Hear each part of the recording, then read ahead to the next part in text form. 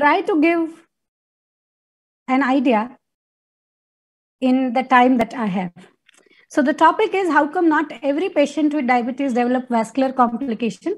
Is it gene, environment, or drug? I'm sure it's all of it, but I'm supposed to give you the uh, the account of the genes that are uh, going to be contributing to this.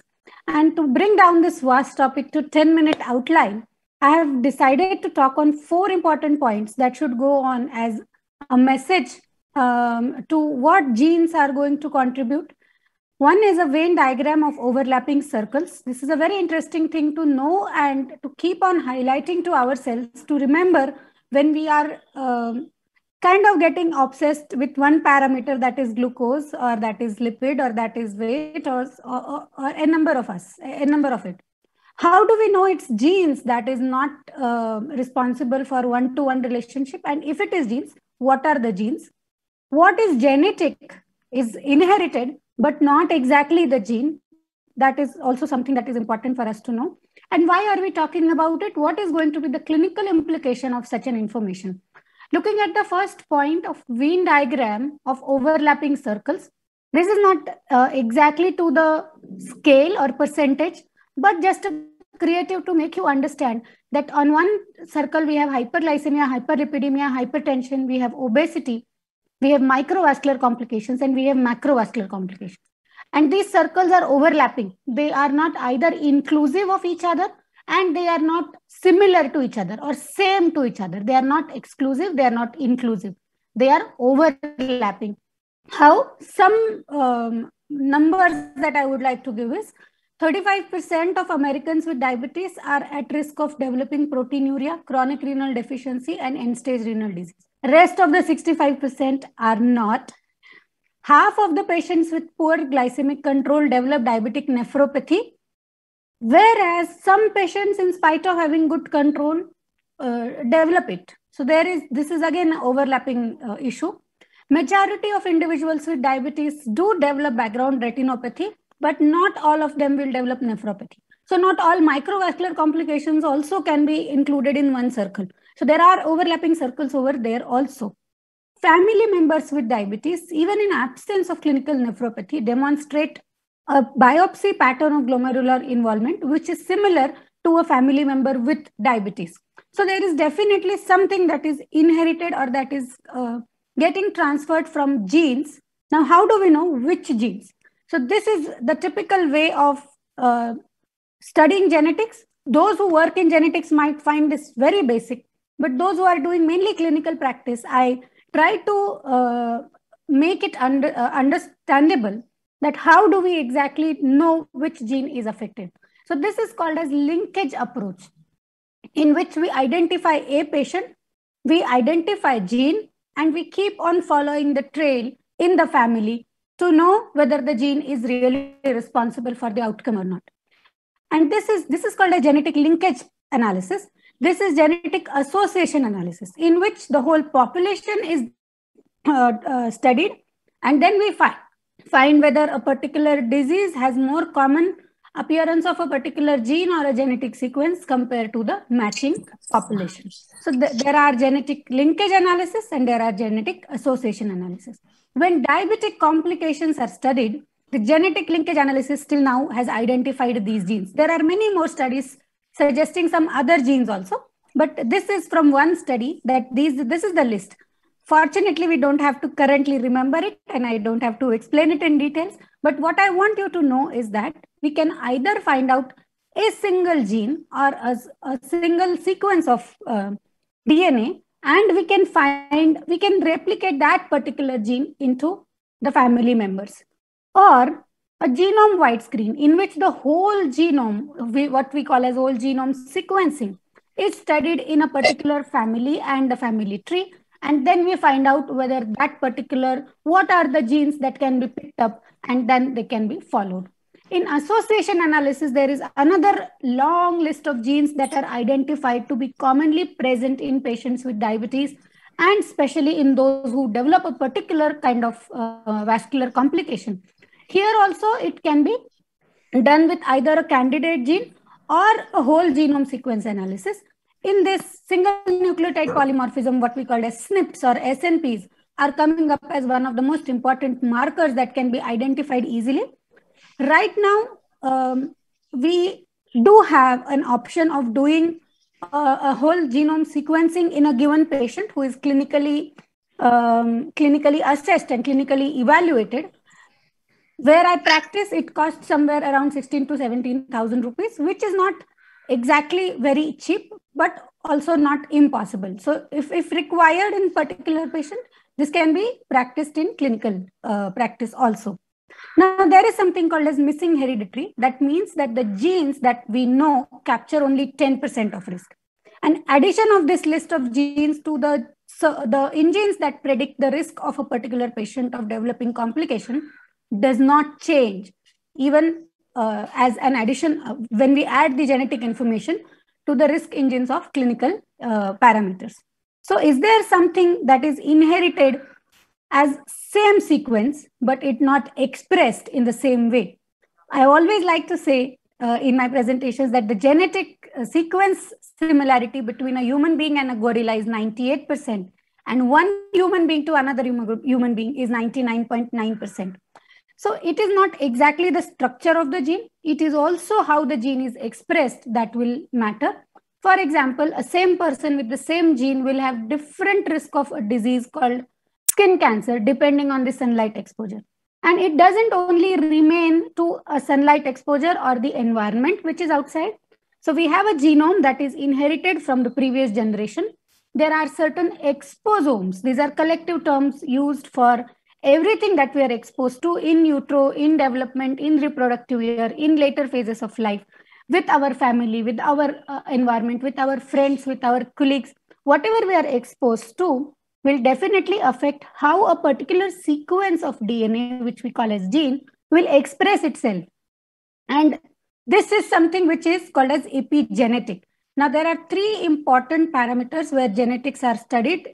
We will not go into the details, but why I want to talk about epigenetic is because unlike the genetic change or the DNA sequence, epigenetic changes are modifiable and modifiable to a great extent. Even though we cannot change the genes that parents have given us, we can definitely change the way that genes get expressed depending on what is our health goal. Similar, the same horse, the same rider with two different roles. On your left side, you can see Shivaji Maharaj. On your right side, you can see Sambhaji Maharaj. The same horse, the same hero, and presenting or using the horse in a different way with a different goal. And that is what the same genes that we have received from our parents, with the kind of health goal that we have, we can change the expression that a gene can cause. Now, this can be voluntary, this can happen because of uh, unavoidable uh, metabolic uh, exposures or environmental exposures. We know metabolic memory long time back, if you're exposed to glucose today, you can have issues.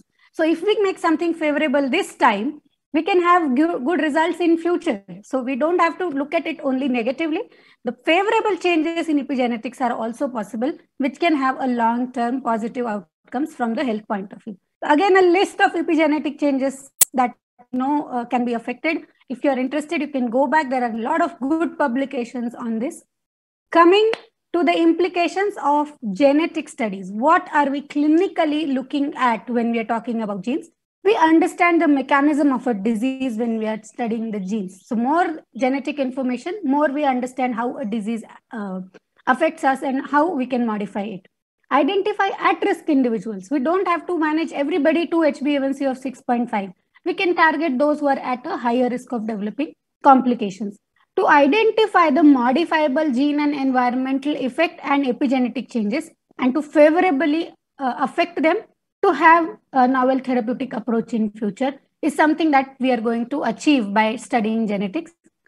With that, I'll come back to a summary. Uh, I hope I'm not overshooting the time. But in last four lines, I would like to summarize what I spoke. First is we know that it's not as simple and linear as high blood glucose is equal to complications and giving a drug to reduce the glucose and preventing the complications. There are multiple overlapping circles which include hyperglycemia, other fuel, fuel, uh, fuel metabolism abnormalities, genetic, epigenetic changes, and this overlapping circles would tell us that we need to take every patient uh, as one point of time. We have identified a lot of genes which are responsible for uh, which are responsible for different effect of different glycemia in different patients. But right now, on the list of genes, we are not able to predict the risk. We need to work more on it. By working more on it, we know that the same genetic sequence can have different expressions in different people that can be explained either by epigenetic changes or changes in the exposome, that is the environmental exposure. And we need to keep on studying to know more, is what I would uh, end by my talk with. Thank, Thank you so you. much for giving me this opportunity. Thank you, Dr. Anjali, for timely finishing up your deliberation. Excellent deliberation. You have talked about the epigenetic a factor responsible also that in fact starts inside the utero and it can be easily prevented. And thank you. We'll wait for the uh, discussion at the end of the session. I'd like to uh, refer now to Dr. Desai for the next section to pick up. Thank you, Dr. Desai. Yeah, right. Uh, so I think, do we have a change in the speaker here? I think it was going to be Dr. Sunil Kota. Yeah, we, it's Dr. Sunil Kota. Yeah, but the, the introduction is Dr. Uh, Unfortunately, Dr. Uh, Dr. Sunil Kota is not being able to hear. So, in place of him, I will try to deliver.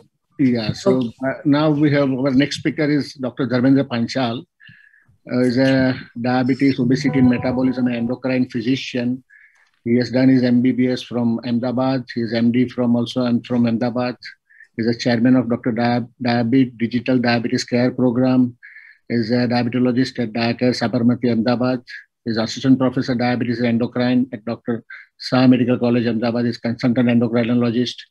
And uh, he's a member of so many organizations. And he's a regional faculty for certificate course of evidence-based diabetes management by PHFI. is a regional faculty for advanced course in diabetology by RSSDI He's invited speaker at various national and international conferences, and he has published so many papers in national and international textbooks also. What he's going to speak on is influence of environment on development of diabetic complications. Uh, Dr. Dharmendra Panchal. Yeah, thank you, respected chairpersons, uh, for kind introduction. So, would like to fulfill the job of Dr. Sunil Kota, who is unfortunately not with us right now. Uh, so, of course, after nice deliberation by Dr. Anjali, how come not every patient with diabetes develops vascular complications? She delivered that genes may be responsible, but not the only genes are responsible. And that's why we always say that it's a complex interplay between genetic predisposition and environmental influence, which will lead to progressive deterioration in the structure and function of the cardiovascular tissue. There are many evidence that suggests that environmental factor and lifestyle, they both play a major uh, dominant role in cardiovascular disease development. Even in absence of large genetic changes, CVD risk in a population can be affected by change in environment and moving to a new environment could substantially modify the CVD risk disease, you can take the examples of Indians in India and Indians in UK. You will find there is a vast difference in cardiovascular risk and cardiovascular disease. How the environmental agent can lead to these through the exposure and through thermal absorption, inhalation or indigestion. Initial response will be either translocation or systemic absorption or any sort of receptor activation or through metabolism, which will have its effects on at molecular cellular level as well as uh, which will generate target and organ responses through variety of mechanism and eventually which may lead to thrombosis, atherosclerosis or alteration in cardiac structure and which may end up in ischemic event, arrhythmia, or cardiomyopathy or heart failure. So in general, this is the way where uh, this can affect. If we talk about human environment, we can deliver or we can divide it into natural environment, social environment, and personal environment. We'll talk more detail in natural and social environment, leaving behind personal environment. If we talk about nature environment, it is a circadian rhythm, season, altitude, and green spaces which affects circadian rhythm. Of course, we call it day-night cycle, and which is a uh, fundamental feature of natural environment. It controls both the cardiovascular health and function. We know that heart rate and blood pressure are lowest at the night and during sleep and begin to rise before we wake up.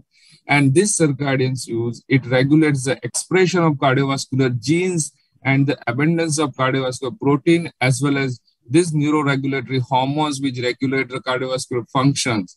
So it is utmost important and disturbance in this sleep cycle can increase the risk of diabetes, obesity, and hypertension. We particularly see in shift workers, transmeridian flight crews, patients with sleep apnea and other sleep disturbances. And even short-term circadian misalignment increases the blood pressure and inflammation as well as postprandial blood glucose level and insulin.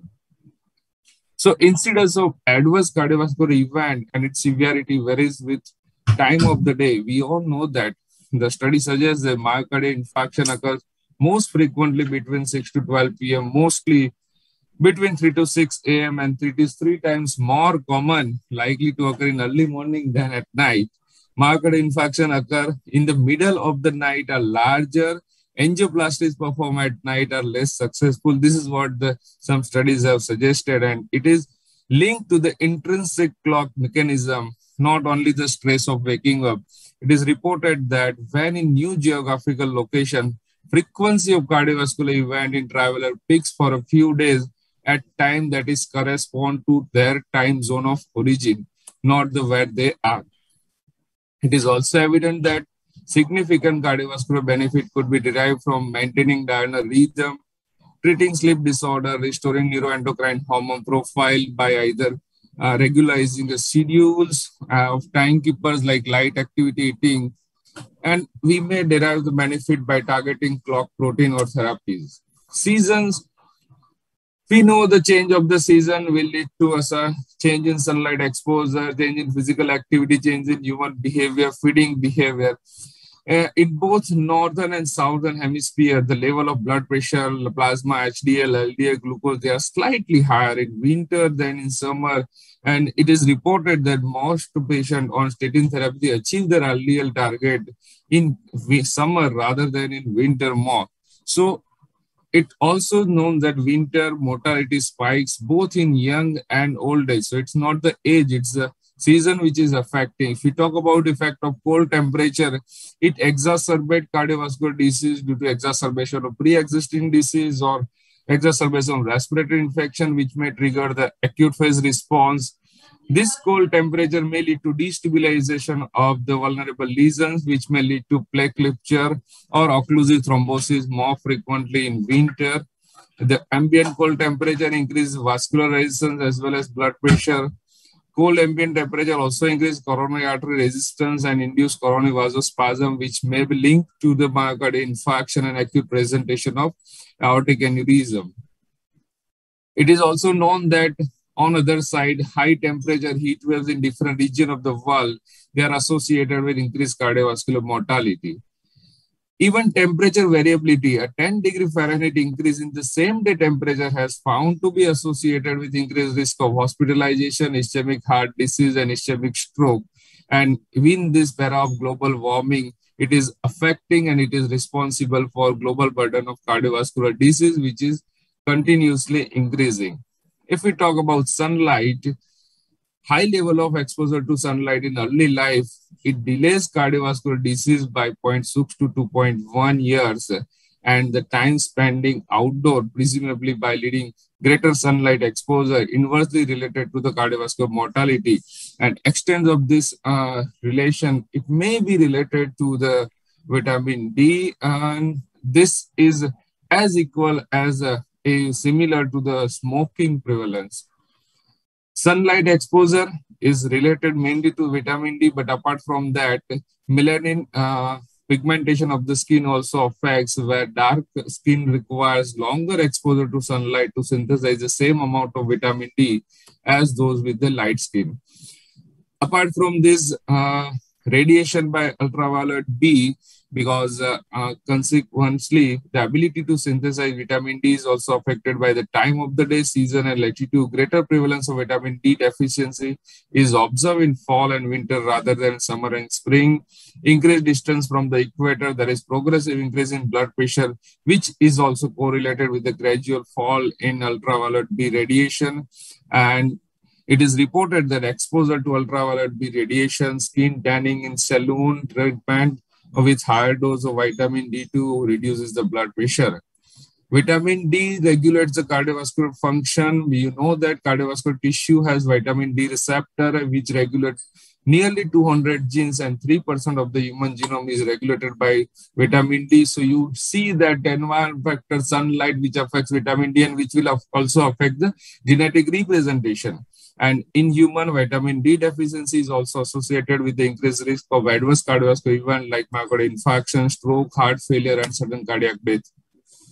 Not only ultraviolet B radiation, it is ultraviolet A radiation, which is also uh, responsible and which is uh, useful for rapid and sustained decrease in the blood pressure it is attributed to ultraviolet A induced release of nitric oxide from the cutaneous photolabile anode derivatives. We know that human skin contains high level of nitrites and nitrosol and because this UVA penetrates the epidermis, it will lead to generate significant level of nitrite in the blood and it will enhance the local level of uh, metastable nitroso compound, which then uh, distributed via blood circulation subsequently, which evoke the systemic response to decrease the blood pressure. So here it's a visible light which is responsible for circadian rhythm, ultraviolet B, which will responsible for vitamin D synthesis and ultraviolet A which will responsible for blood pressure regulation. So sunlight is one of the most important environmental factor.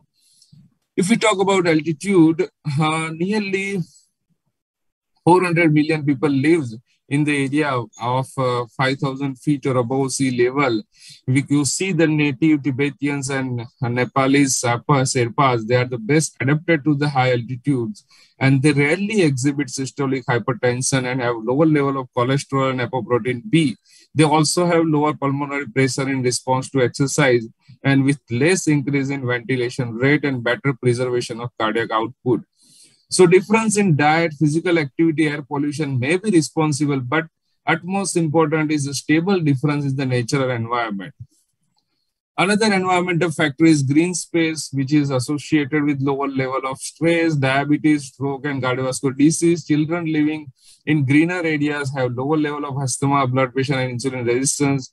Adult resident proximal to greener areas they have been associated with better general health, enhanced social support and physical activity, which ultimately results in lower level of stress and other cardiovascular factor. It is speculated that some of the behavior uh, beneficial cardiovascular effect might be related to decrease in the level of uh, local air pollution or increased proximity of walking space. But it also suggests there is a primordial bond between nature and health and which may be responsible for this benefit. If we talk about social environment, we will talk in terms of built environment, pollution, environmental noise, social network, and socioeconomic status the artificial, non-natural living space, they, pre- they may be able to or they may be helpful to prevent the disease by creating sanitary, climate regulation, safe spaces, but also they may promote the disease by generating unconductive living conditions. Multiple sources of vulnerability that are related to the characteristics of built environment, stress, no nutritional resources, lack of place for exercise, decreased interaction with nature, and exposure to multiple environmental toxin polymer, which may be responsible for increased cardiovascular disease prevalence within community. I'm sorry so to interrupt you, Dr. Pansal. Dr. Yeah. Pansal, please, please sum up within a minute or so. Yes, we will sum up in five minutes. Five minutes is too much. You need to yeah. You need to take another two minutes. Okay. Please. Okay. So clearest Thank impact you. in environment could be seen with the obesity, pollution we all know that there are the different sources of pollution one thing i would like to highlight we all believe that uh, air pollution is responsible for respiratory disease but 70 to 80 percent of premature deaths due to air pollution leads to cardiovascular causes and cardiovascular death and this is the way where it will increase it will cause the cardiovascular disease which is explained in this uh, environmental noise. Again, one important factor would like to say that increasing noise by 10 decibel has been associated with 8% increase in cardiovascular disease risk. And it is suggested that by decreasing 5 decibel noise reduction in environment, we can reduce the hypertension by 1.2 million and CHD cases by 2.79 lakh per year in US alone. Social networking, one of the important thing, the genetic which madam talk about FTO gene strongly associated with obesity, but person carrying this gene have a 67% increased risk of obesity while compared to 171% increasing risk of obesity by having just friend who is obese. So choose your friend wisely. And if one sibling is obese, chances of being second sibling obese by 40%. Socioeconomic status also related with the level of education, which may be related to hypertension and other cardiovascular disease. Personal environment, nutrition, it must be talked uh, in the other sessions also in detail, but we all know that there are personal food choices, dietary pattern and dietary tradition and diet at all affects the major cardiovascular risk factor at all the aspects physical activity again most important and inactivity is in the human is strongly associated with CVD risk where increases coronary risk by 45%, increase stroke by 60%, increase hypertension by 30%, and type 2 diabetes by 50%. Smoking, again, we all know that it is one of the major risk factor for cardiovascular disease.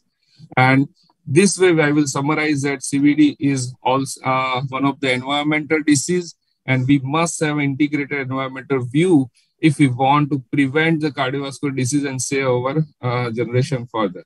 Thank you. Thanks a lot. Well, uh, that was uh, wonderful, Dr. Dharmendra Panchal. And uh, I think because of the lack of time, we can move on to another speaker's talk. Uh, so, Dr. Ripun. Yeah, yeah, yeah. Thank you. Thank you, uh, Dr. Desai. I think Meena Chhabra, Dr. Meena Chhabra needs no introduction. She was the judge in the previous session. I've been listening to her. Wonderful lady, very dynamic lady. She's very active in our CME group also. Over to you, Meena. Thank you so much. Thank you. So I'll just share my screen.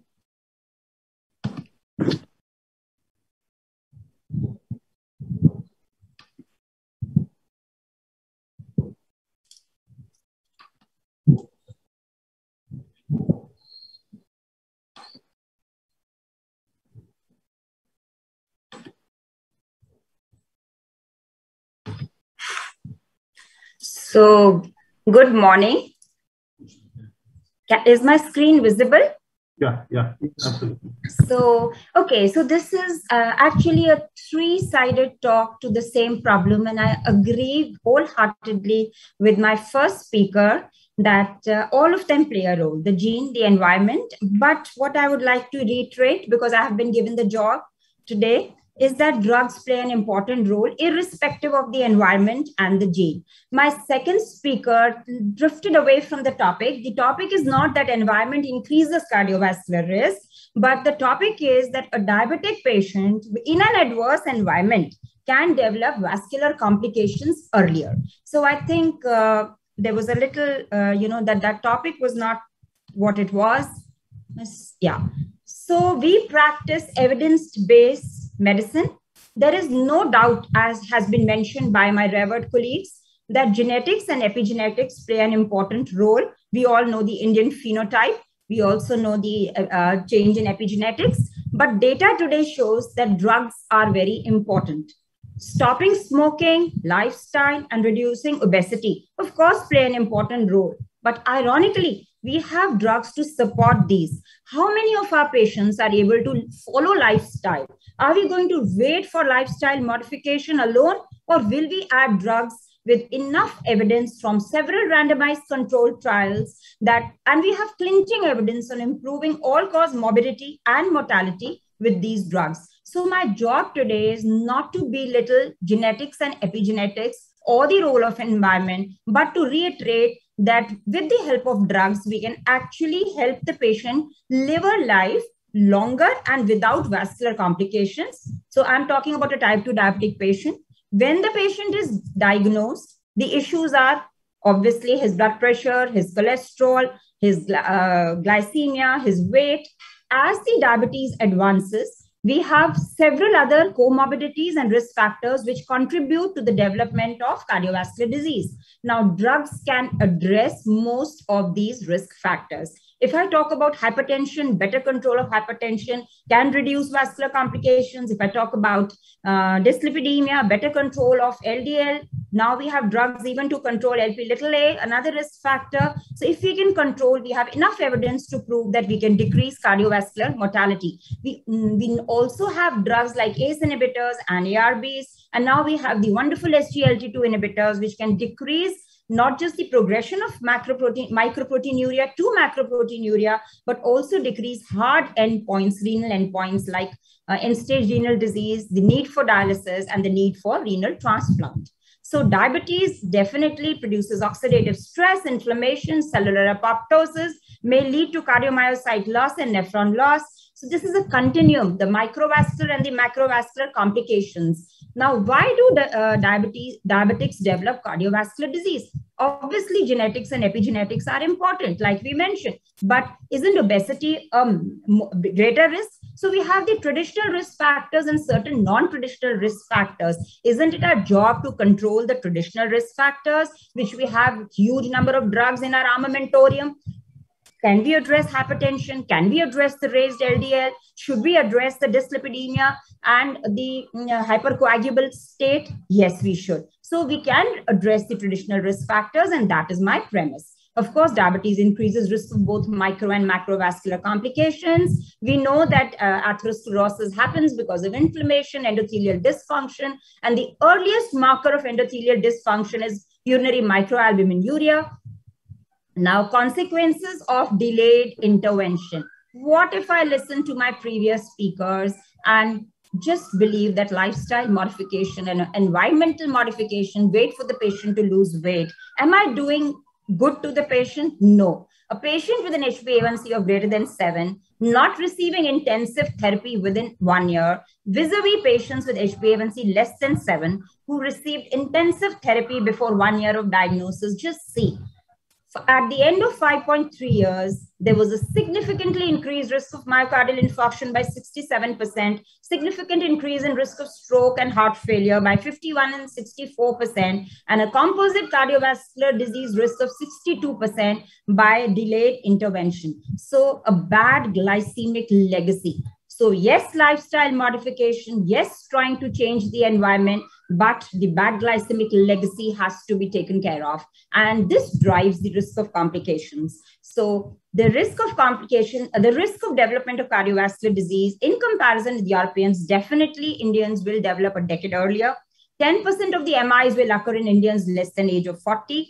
52% of cardiovascular disease deaths occur under the age of 70. And in the INTERHEART study, it was not only lifestyle, although lifestyle factors were included in the INTERHEART study, but dyslipidemia appeared to be the strongest contributor to acute MI in Indians. So doctors, my premise is address the dyslipidemia. If you reduce the LDL by 39 milligram percent, you can reduce cardiovascular events, major coronary events. You can reduce the incidence of coronary revascularization. You can decrease the any uh, vascular death by 24%, any death, all cause death by 24%. Will you deprive your patient of statins? thinking that he can raise the good cholesterol by taking good fats and decrease the LDL cholesterol by walking? No. Lifestyle modification and environment are important, but we have several randomized controlled trials which have proven beyond doubt that cardiovascular mortality can be decreased uh, with statins. Now, coming to the SGLT2 inhibitors, these drugs which push the glucose in the urine cause glucosuria. Because of glucosuria, there is along with it, there is some amount of natriuresis, osmotic diuresis. So what do they do? They decrease effective blood volume. They decrease total body weight because you lose glucose in the urine. There is a negative calorie balance. If our patient is not able to control his food intake and we are in trouble, can't we create a negative calorie balance by pushing glucose in the urine? If I push 70 grams of glucose in the urine with SGLT2 inhibitors, for every gram of glucose, the patient loses four calories. With the loss of about 70 grams of glucose in the urine, the patient loses about 240 calories. Isn't it sensible? How many of my patients am I able to motivate to decrease 250 calories from their diet? It's difficult. So again, my premise is these drugs, they also help in LV remodeling. They improve cardiovascular outcome. So again, type 2 diabetes in the heart, the postulated mechanism they increase, uh, that in diabetics, there is increase of fat oxidation SGLT2 decreases that.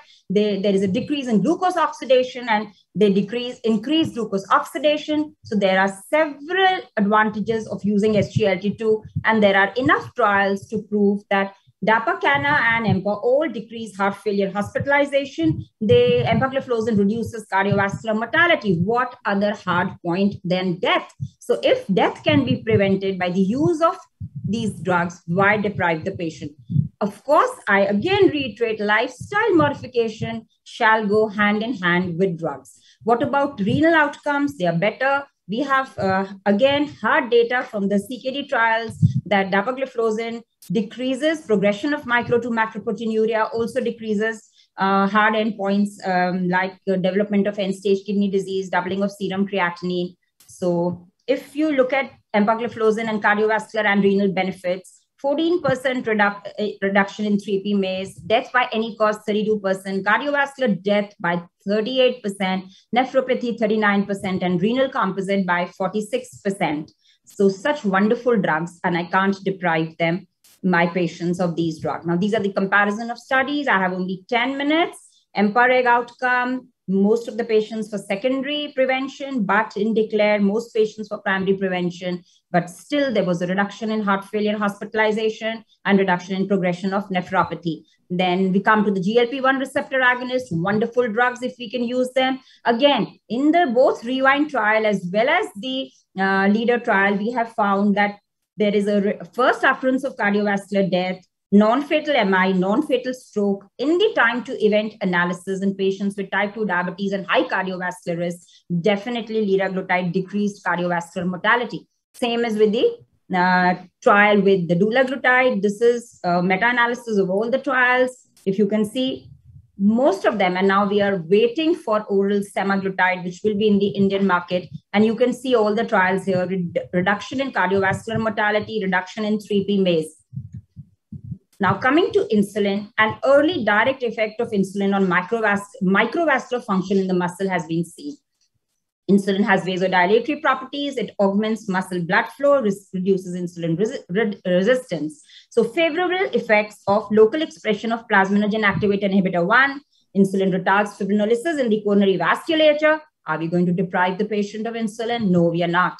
So again, we have trials with ACE inhibitors, ARBs, and so we have a trial with the combination of a neprilysin inhibitor, sacubitril, and an angiotensin receptor blocker, valsartan, because the combined ARB neprilysin inhibitor was developed to address two pathophysiological mechanisms of heart failure, activation of the renin-angiotensin-aldosterone system and decreased sensitivity to natriuretic peptide. And these two drugs address that. So will I deprive my patient of the, these drugs which have hard clinical data? No, I won't. So my premise is while some patients may benefit from interventions based on changes in lifestyle, for the majority of type 2 diabetic patients, the environment and lifestyle has led them to obesity and has led them from obesity to impaired glucose tolerance and has led them from impaired glucose tolerance to type 2 diabetes. And my job is now to talk to them about drugs and give them protection from cardiovascular disease by better controlling the causes of vascular disease, by targeting the mechanisms involved with newer agents, like I mentioned, GLP-1 receptor agonists, SGLT2 inhibitors, we can expect an improvement in the cardiovascular morbidity and mortality. So just because my patient did not follow lifestyle advice in young age or had a genetic predisposition to obesity and in spite of following advice was obese, can I blame a 15 year old girl for being obese who walks into my clinic? No, it's genetics, it's epigenetics, it's the obesogenic environment that all of us are facing sitting in front of the computers. So, do I deprive her of drugs? No, I don't. Yes, I talk about genetics, epigenetics, but I don't say that it is only epigenetics which has led to obesity. I also try to sort it or help her by giving medicine so that I can delay onset of type 2 diabetes and delay onset of cardiovascular risk in the patient with type 2 diabetes. The pill is unavoidable at some stage of life over and above a good lifestyle in spite of your genetics and epigenetics. Thank you.